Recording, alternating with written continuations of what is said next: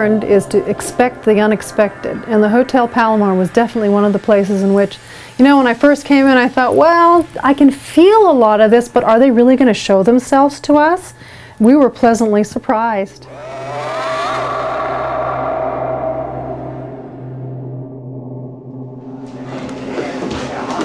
So we're here in Old Town Temecula at the Palomar Hotel. We're getting ready to set up all our equipment right now. Lady Brenda, our psychic to the show, she's getting ready. What are your thoughts on the whole thing so far? I'm excited about it because I can really feel the energy. You know, this place has a smell. The first time I came in to this place, I, I walked in the door and I, I could smell the ghost. I know it sounds weird. There's a smell. It's like a honey sweet, right? Yeah. As soon as I walked in that door, I could. There was a an underlying musty smell, and I knew, okay, they're here.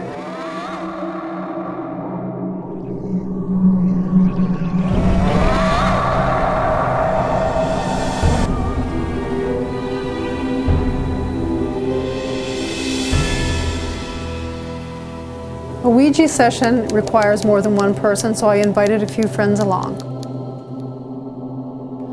And so we set up to do the Ouija board, and I use the Ouija board, and I know this is kind of like one of those taboo things that people don't want to talk about. Oh God, the Ouija board, you can buy it at Rite Aid, and yes, it is dangerous if it's in the wrong hands. I invite thee into the circle this night to be with us, to communicate with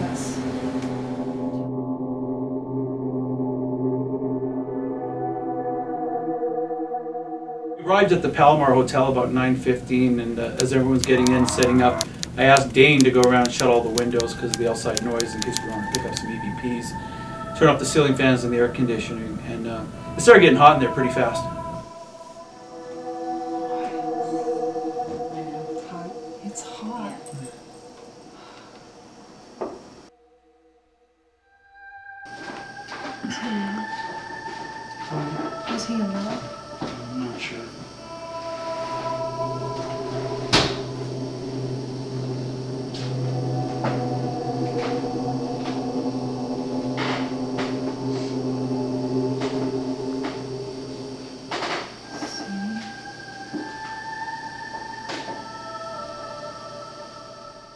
So during the Ouija board session, Brenda contacted a spirit named Charlie.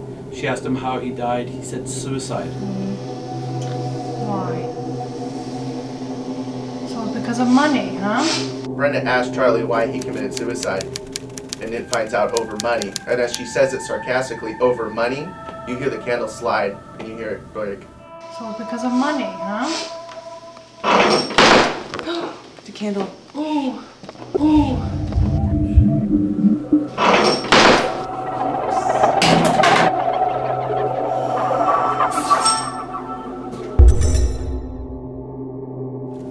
Of a sudden, I hear this glass smash behind me, and uh, everyone's like, "Oh, the candle went out." And I thought, "Well, maybe I backed into it or something." But I didn't move.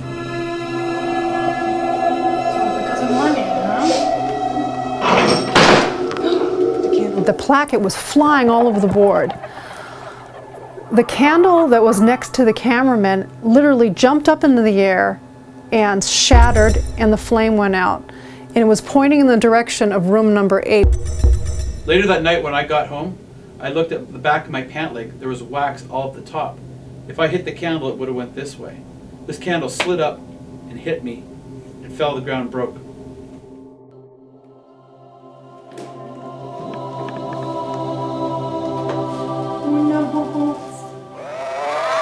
Oh shit. Hey, Charlie. Oh, my dude, the chill Did you get that cold breeze? Yeah. So I'm filming the table tipping with Brenda, you know, just you know, hotter than hell up there, and all of a sudden I hear her going, "Whoa!" and the table's tipping, and uh, so I'm focusing that, and I hear Dane. He's in the doorway holding the boom mic, and he's like, "Fuck shit!" And, ju- uh, and so I run over to go check on him, see what the hell's going on, and um, he's like, "Dude, something just grabbed me." Table had tilted towards room number eight. All hell broke loose. That's when Dane was grabbed by the entity, the cold feeling on his back. Is that room eight? Yeah, eight. So Mike's asking me if that's room number eight. As I'm holding the mic, I turn to my left and I look up, and yeah, it's room number eight.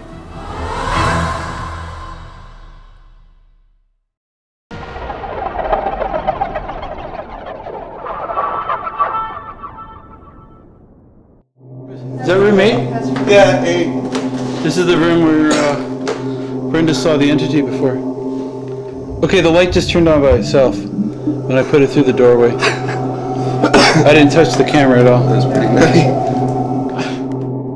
So with all this activity going on, from the table tipping to Dane getting grabbed to me running over the video camera, the light turning on, I didn't even think to check the tape.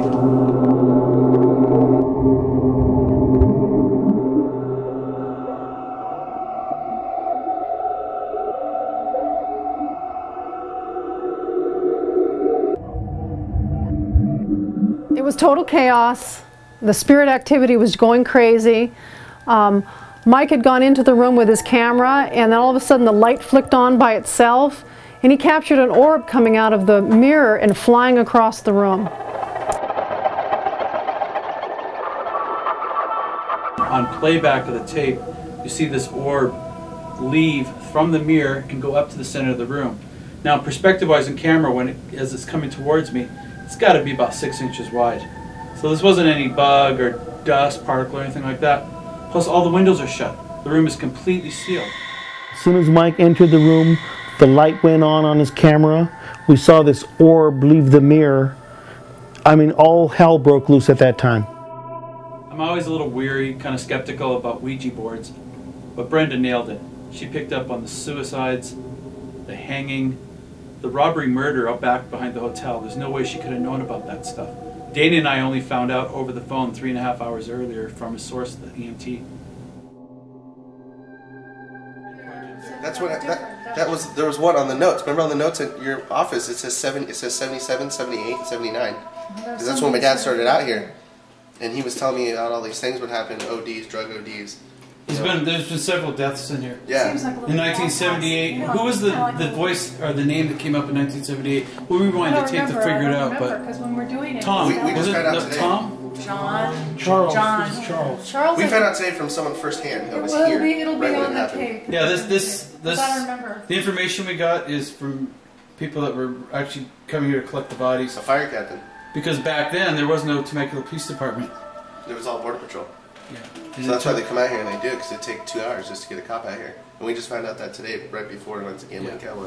Two guys uh, the arguing back. in the courtyard. One shot the other one, and maybe it was over money. We don't know. We'll find He out set more. bonfires and we can go out. We could go out in the courtyard too. We can go at the courtyard. That's why we were asking her earlier if we can go out there. Hmm. Well, we got some good stuff tonight.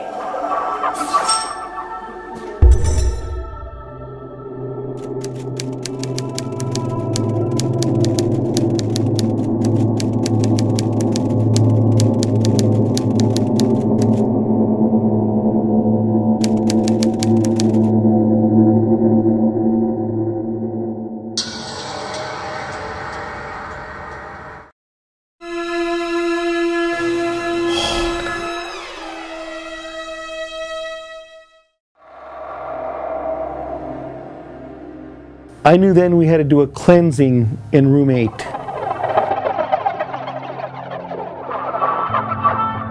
So during the Ouija board session, Brenda contacted a spirit named Charlie. She asked him how he died. He said suicide. Charlie's a problem, and I'm going to get rid of him.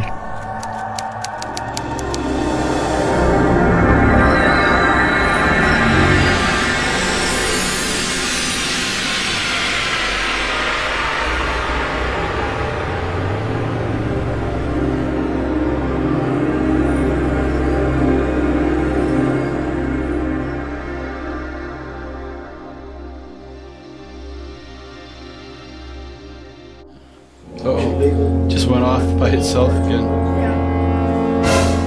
We were interested in room 8 because three weeks earlier, and we had gone into room 8, and as soon as we entered the doorway, the, the lights went off and on, and right behind our cameraman, there was a spirit energy, an entity, a shadow.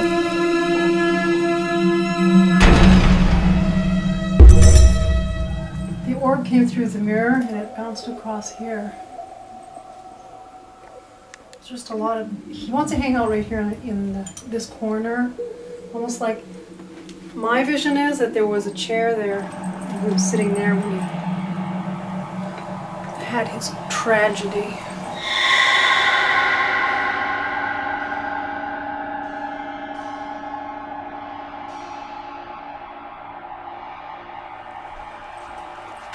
Vanish thee. Banish thee. I banish thee. He doesn't want to leave. And he likes it here, doesn't he? Show yourself. Show us a sign. May the Lord bless your soul, that it is time for you to go. Have fire and air purify this space. Charlie, you are in spirit substance. And forever visit this place and your demise. We- We ask you to leave now. May be no negativity in your wake. Blessed be.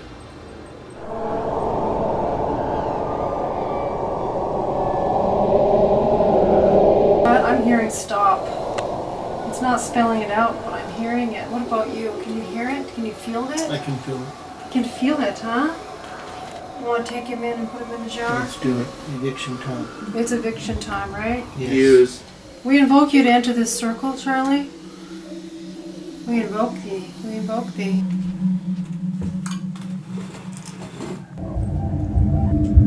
Got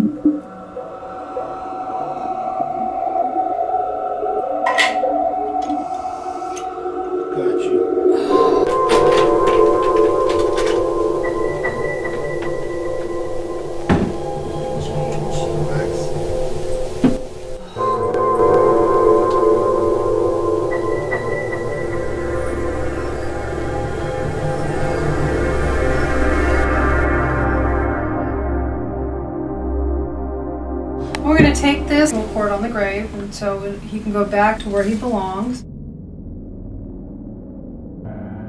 What I'm going to do is I'm going to pour it down on the grave, and he'll be reunited with his spirit.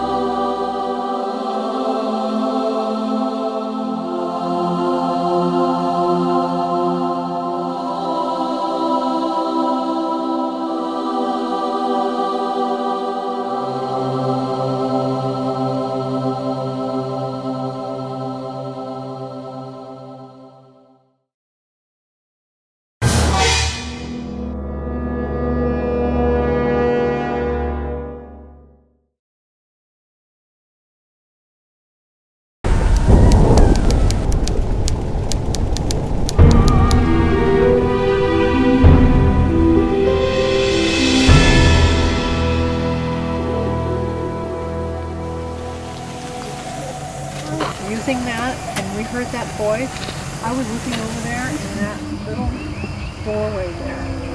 You're going to be able to see something. I believe if we take a still photograph, you'll see a little girl. So we know there's been two deaths here, at least for sure. Yeah. We picked up a voice on this. It said, go away. What? It said, go away. We came in to take some photos, and as we pulled up, my speedometer went from, you know, going 30 to 60, and it stayed at 60 from a dead stop. And then Was the once it engine did still that- running or the no? engine's still running. This is a brand new car. And then um, once we went in, we took about 15 to 20 photos, just orbs everywhere. It was uh, it was definitely a creepy place to be. Tell us your name. Are you glad that we're here? You want to speak to us? What is it that you want to say?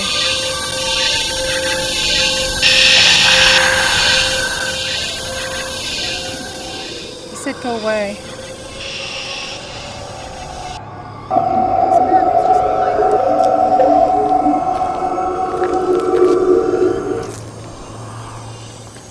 Well, he's trying to tell us to get. See? We're going to have to analyze this. He is the bully entity, and he's the entity that wants to leave this place. That's why he's coming forward. So it could be that there's spirits from all this area attracted to this place. That's what's going on.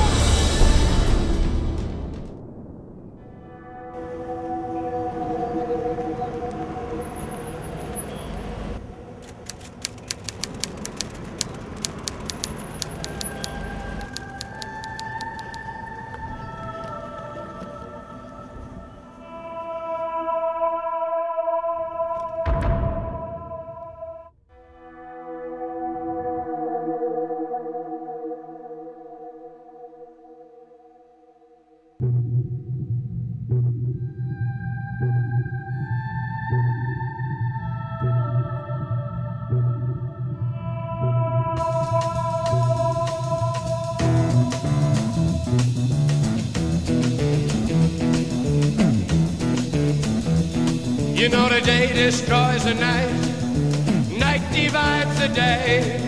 Try to run, try to hide, break on through to the other side, break on through to the other side, break on through to the other